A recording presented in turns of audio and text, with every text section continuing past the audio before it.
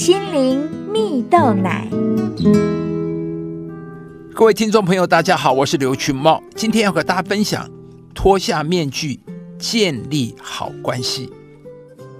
网络上有一篇故事说道：从前呢，有个孩子既懒惰又爱撒谎，让他的父母非常的头痛。有一天呢，孩子吵着跟妈妈要新鞋子给他穿，妈妈觉得。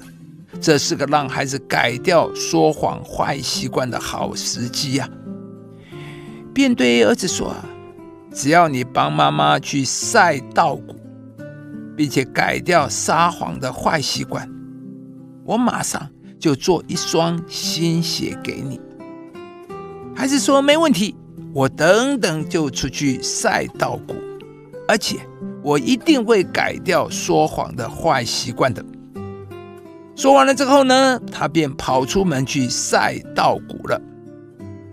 到了晚上，孩子从稻谷场回来，向妈妈讨新鞋穿。妈妈摇摇头说：“你明天再去晒一次稻谷。”隔天呢，孩子一样一大早就出门，直到晚上才回家。没想到妈妈要他再等一天。到了第三天。孩子回家后，发现鞋子仍然还没有做好，便大发雷霆地说：“我已经晒了三天的稻谷，鞋子还是没有做好。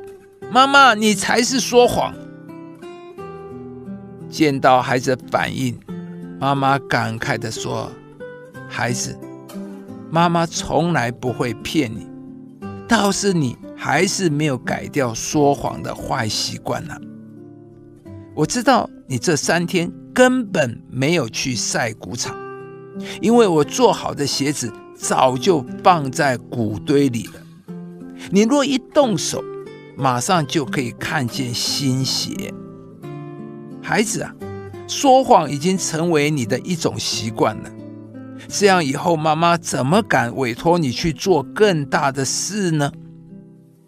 听完妈妈说的话之后。孩子十分羞愧地走到晒谷场，将新鞋从谷堆中挖出，并下定决心，一定要改掉说谎的坏习惯。亲爱的朋友，诚实是一切人际关系的基础，是人与人之间彼此信任的原因。夫妻。亲子、朋友等各种人际关系之间，若没有彼此信赖，就无法建立稳固的关系。就如同故事中的那对母子一样，其实说谎的心思很多，一切不实际啊、夸大啦、作假啦、戴面具、心口不一等等，都可以称为是谎言。尤其在社群媒体盛行时代。我们常常不敢真实的与别人彼此交流，好像我们早已习惯将自己包裹在面具底下，让自己活在虚假的里面。然而，在圣经上有一句话说：“所以你们要弃绝谎言，个人与邻舍说实话，因为我们是互相为肢体。”在这里，我们可以看到，为什么我们要弃绝谎言呢？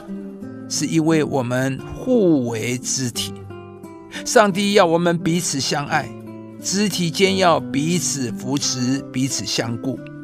所以，如果我们用谎言彼此相待，就失去了互相信任的关系，真诚互信的基础就会被破坏。因而留下怀疑、虚假和不信任。表面上我们好像是彼此相爱，但这个爱非常脆弱，无法有真实的关系。亲爱的朋友，肢体彼此是因为爱而互相连结，因信任而彼此合一。因此，我们如果要与他人建立真实的关系，就要有一个爱人如己的心。弃绝一切的谎言和虚假。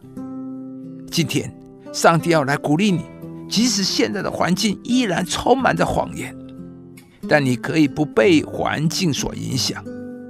相信呢，当你用真诚去对待他人时，上帝必要让人看见你的不同，你将赢得许多人的信任，连接许多美好的关系，并且带下属天的影响力。我们相爱，不要只在言语和舌头上，总要在行为和诚实上。亲爱的朋友，如果您喜欢这支影片，邀请您于 YouTube 频道搜寻“心灵蜜豆奶”，并按下订阅，领受更多祝福和生活的智慧。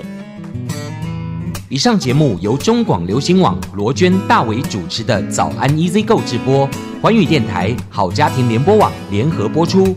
夏凯纳林粮堂祝福您有美好丰盛的生命。